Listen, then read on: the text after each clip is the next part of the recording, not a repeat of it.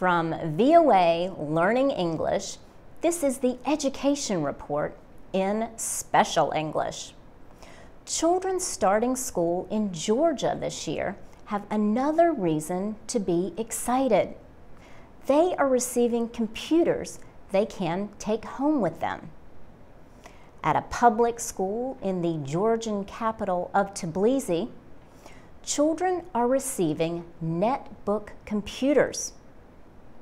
Educational officials say the children will learn more and develop better computer skills if they can bring the technology home.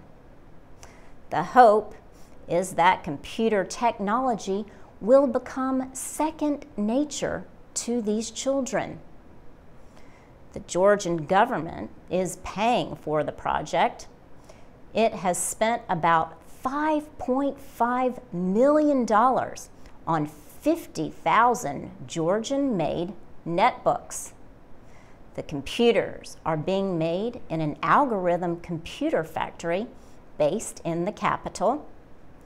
But the netbook computers are only part of the education upgrade. Georgia is also offering what it calls future classes.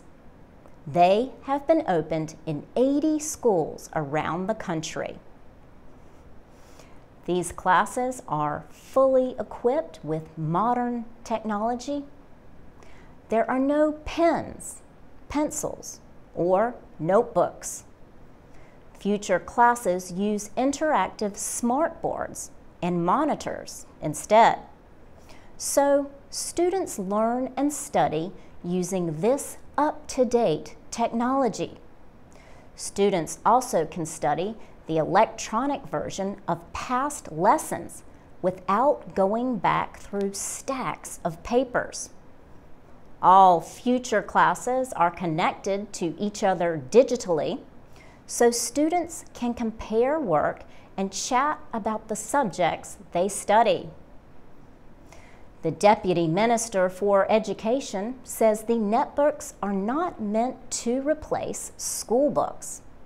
She says they just want to give children an up-to-date and relevant education.